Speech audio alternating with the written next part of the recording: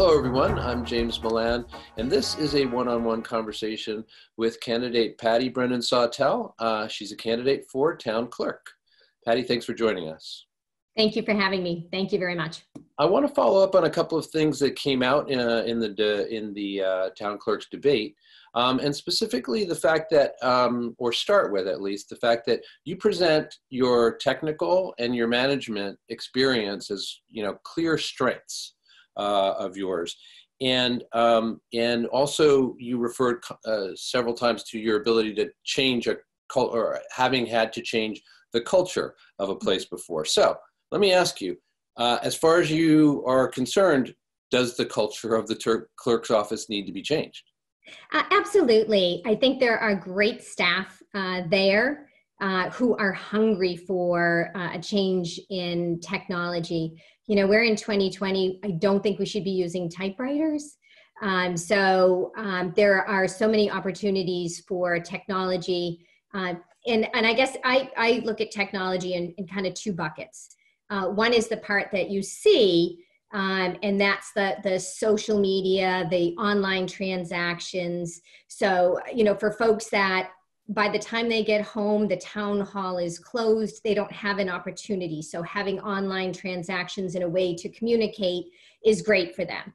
Now that's an added tool. It never takes away the human interaction. You know, once we're done with COVID and we can have people in the town hall.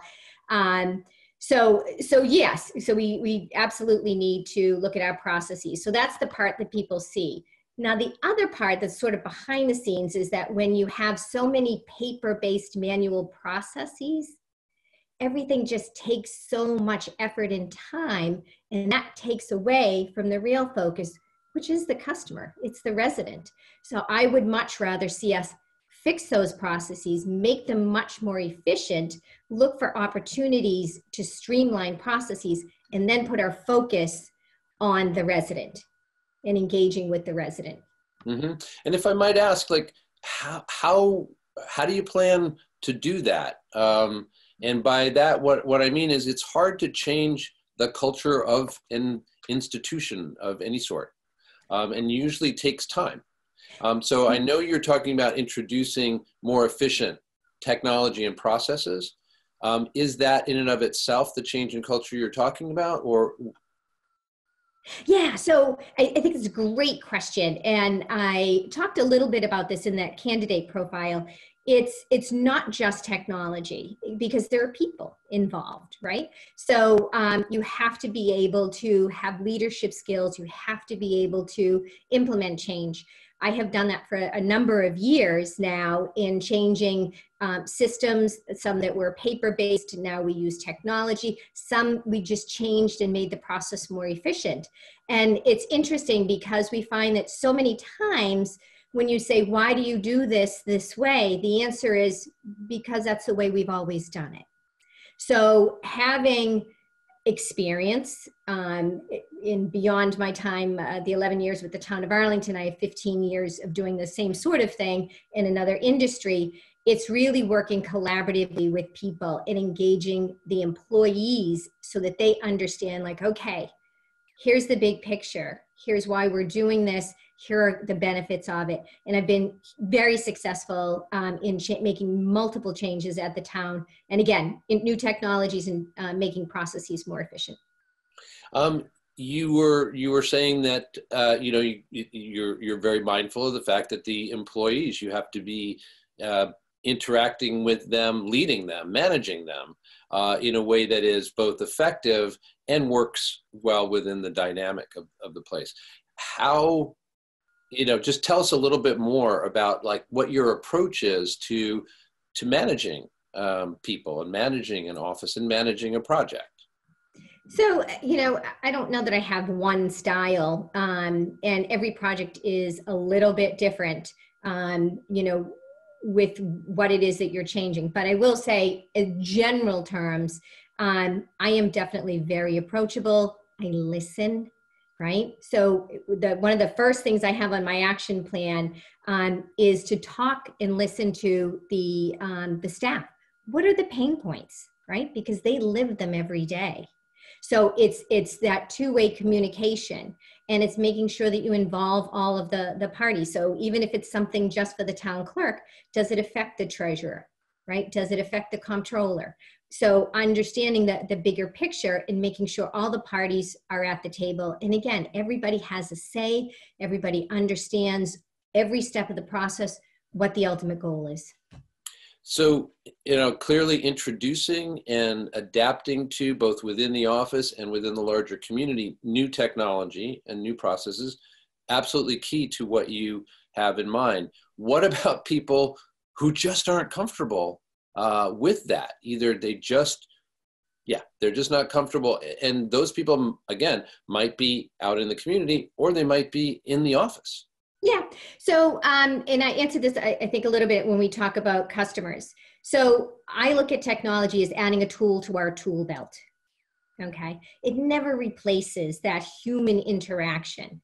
It never replaces having, you know, the person who wants to come in. I spent seven years in health and human services. I'm very mindful of particularly like take seniors or people who this is a way to socialize because otherwise there's that element of isolation and you know we don't want that so there will be people who want to come in because that gives them some human contact so technology is always a tool now in terms of employees and again i have worked with a spectrum of people from people that are just yes bring it on to i this makes me anxious and i'm fearful of this change and it's really, as I said, it's guiding people and making sure that they understand the process and that they're in, uh, in the, involved in the process.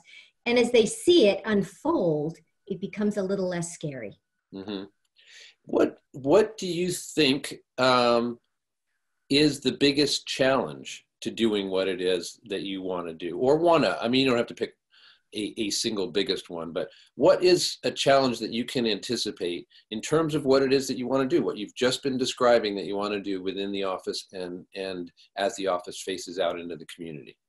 Wanting to do it all eh, on day one i think that's really my my biggest challenge is um, you know i i am just so ready to go and um, i know again because i'm an employee of the town i know the the staff and honestly they um, they're hungry for the tools. They see that many of the the systems that they're working with or processes that they're working with are just it's just you know it just takes too much time. It's inefficient. Mm-hmm.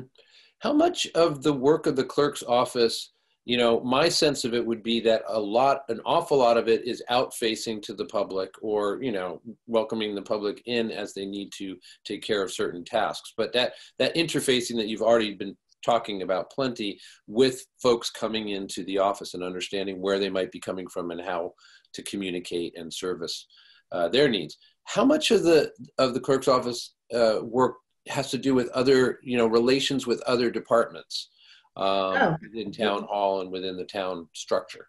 Yeah, a lot. So, you know, there's so much that goes on uh, behind the scenes, and, you know, things like um, we're going to be facing uh, capital budget season pretty quick comes up pretty quick. So that is something where you're working with the, the comptroller, you're working with the capital planning committee, then you've got operating budgets, right? And then you've got, we have new election uh, machines, right? That we have not even tested yet. So there's training. So that's going to be training of the election workers and having them understand what the new uh, equipment is. So um, there's so much that goes on behind the scenes filing of all of the state reports people don't see that and don't probably care as long as it, it, everything is done the way that it should be done. So I think there's so much that's behind the scenes that, that folks don't see.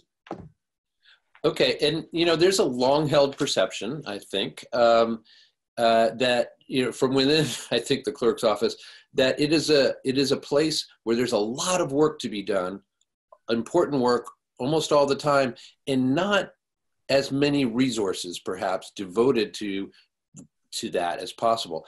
How will you tackle that aspect of things if you find that that is indeed the case?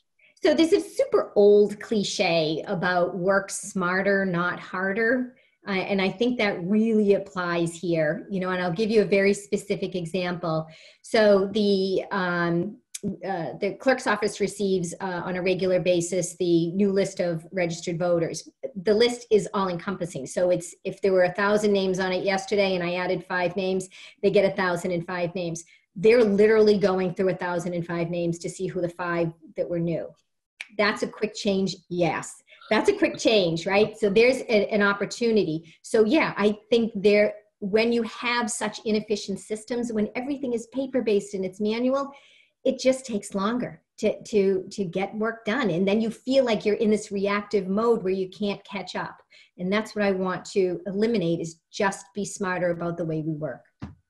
You know uh, i am happy to uh, to spend the, the final three and a half minutes or so here um, with a little thought experiment that says okay patti brennan sawtelle gets elected town clerk. What happens then? What what happens the next day Okay. So, it, and it's funny because that's exactly, I feel like June 7th, even though it's a Sunday, it's day one, right? So, we need to, because of COVID, which is really throwing, you know, another complication into this, is make sure that, okay, when we open, uh, and allow staff back in, what uh, health and safety precautions are there? Also, when we get ready to have uh, the public in, what are the health and um, uh, uh, you know safety precautions that we need to take? We've got town meeting in some form is going to happen. So how do we get ready for that? Whether it's going to be held on Pierce Field, whether it's going to be a Zoom call, we have. Um, the um, contract has expired for the clickers during town meeting. So how are we going to uh, address that?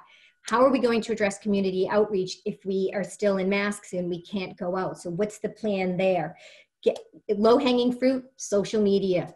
Let's update the website. Let's get Facebook. Let's get Twitter. That's super, uh, super easy. Um, we also have, as I mentioned, new election equipment. People need to be trained. We need to get up to uh, up to speed on that let's start looking at online transactions. We've got all these paper records. How are we going to digitize those? And then, as I mentioned, we've got the whole financial picture um, where we've got capital and operating. And then don't forget, we have election in September and November. Um, and then on the heels of that, we're going to be back into dog license season. So there's a lot to be done. Yeah, well, clearly so. And you've obviously thought through uh, the extent of that. But that makes me wonder um, won't it require a lot of triaging in a sense on your part when you first get in there and won't the first month or two obviously you can't tell exactly how things are going to unfold at all right but won't you have to prioritize certain of the things that you've mentioned uh, above others and who knows where or you tell us where does the the change where do the changes that you want to start introducing where do they fall on that list? So I, I, think again with COVID that adds a, a, wrinkle. So that's really number one is you know how do I keep uh, staff safe? How do I keep the public safe? Right. So that's going to have to be number one.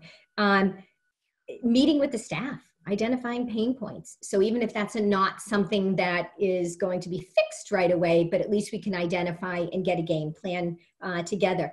And again, town meeting is coming. So like that has to be a priority as well in terms of making sure that people have the materials and uh, that we're just, that it's organized in whatever fashion town meeting is going to take place and you know we are we are left with a mere 45 seconds. I'm not sure if you want to add anything else in before we sign off but. Yeah really quick what i want to say is it's, it's funny as i talk to people that you know some people look at it as which of the three candidates who are all nice people um, do i reward by voting for? I would ask people to look at it as who is the most qualified? Who can make the most impact? Who can step in right on day one and be ready to, to make the, the change that is, is needed. Um, so um, my website is Patti for Town Clerk. Uh, June 6th is the election, and I would greatly appreciate the opportunity to work for the folks of Arlington. Thank you very much. Thanks for your time. Thank you. Talking to Patti Brennan Sawtelle, a candidate for Town Clerk. And thank you for joining us.